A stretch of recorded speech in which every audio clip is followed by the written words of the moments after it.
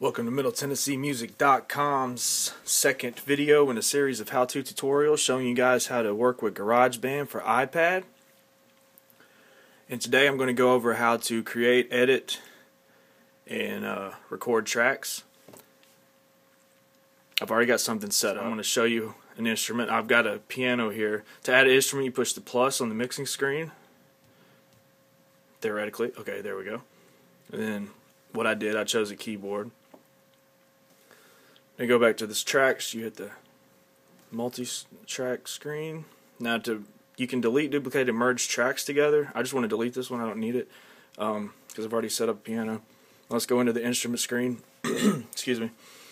Now we got the grand piano. If you click this, you have all the different instruments that you can choose within this module. So you have classical grand electric piano, Worley, organs. You go to the classics, everything you could possibly want. I love it. So I'm going to go with the Grand. This is the Velocity. Very quiet. Very loud. You can do this, and it's kind of in between quiet and loud. Now my fingers are fat, so what I'm going to do before I record, I'm going to choose the scale I want since I know the mood of the the mood I'm going for. Right here, you push scale, open up the scale screen. I'm going to choose a Japanese scale. See what it does, it takes out and only shows you notes involved in that scale. That's dry, I want some sustain on it. Okay, now I just want to show you what else you can do. Glissando, you can do this. If you push the button, it chooses scroll so you can change octaves quickly while playing.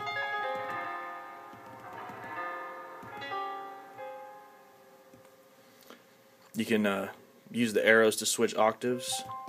You can also switch to a double deck. You can make the keys fatter for your fat fingers. You can make them smaller if you have skinny fingers. I'm using the medium setting. There's the double decker. Bam. You get you can spread your octaves out. You also have an arpeggiator. You can turn it on. Octave range, what notes you want to play, triplets, dotted, quarter notes, etc. I don't want it on though off. So to record,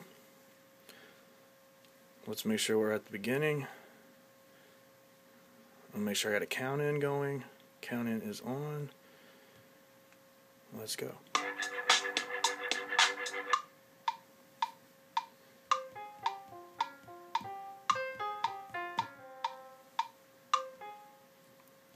Okay, so I'm pretty sure I'm off time on this one.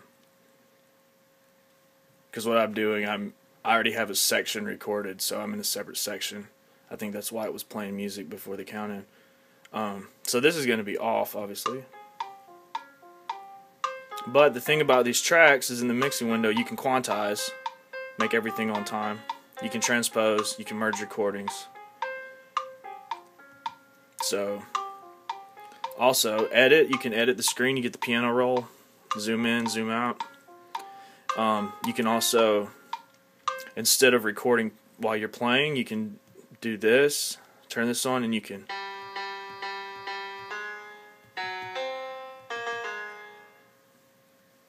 And then you have the undo.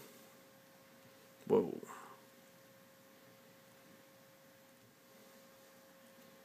Go back over here. Now, these are this is what I recorded. Now here's the drums.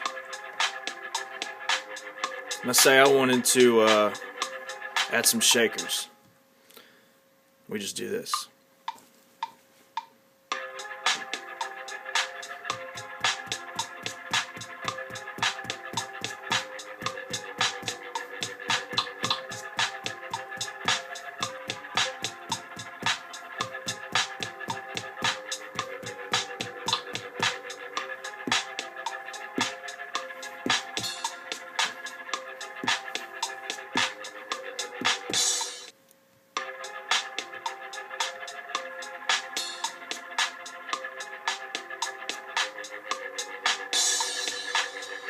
That's the basics of creating and editing tracks in GarageBand for the iPad. Until next time, it's Joshua Smotherman with MiddleTennesseeMusic.com, and I'm out.